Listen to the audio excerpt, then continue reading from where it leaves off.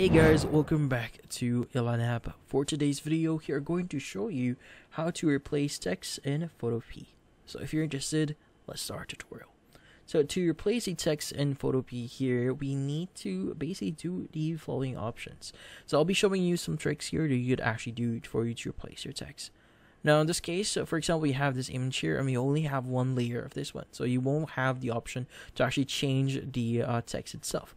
But in this case, if the background itself is just one plain color, you could actually use a shape here to cover that section here. So for example, I'm going to add a rectangle here, and I want to also choose the fill color here. So in this case, you could go and choose the uh, actual color itself here.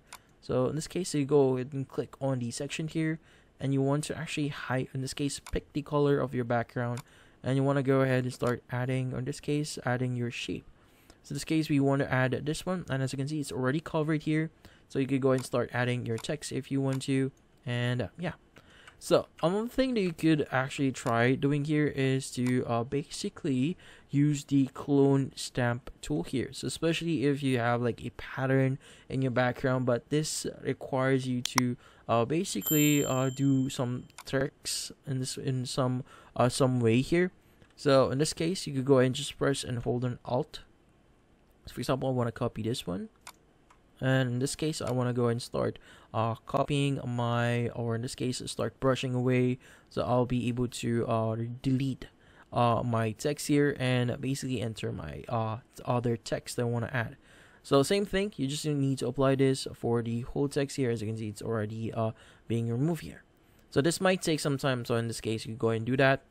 So yeah, so the other method that you could actually do here, do here is you could also use the spot healing brush tool. So in this case, you go ahead and start brushing away here. So in this case, this might take a while. So in this case, you go ahead start brushing. So make sure you start from the original color here and slowly chip away until it's actually removed.